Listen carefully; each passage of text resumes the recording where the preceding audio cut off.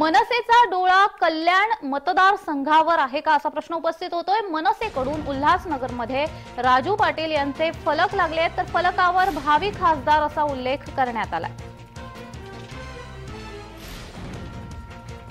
कल्याण लोकसभा मतदारसंघासाठी भाजप आणि शिंदे गटामध्ये रस्सीखेच सुरू असताना उल्हासनगरमध्ये मात्र मनसेने राजू पाटील यांचे भावी खासदार असा उल्लेख असलेले फलक लावले.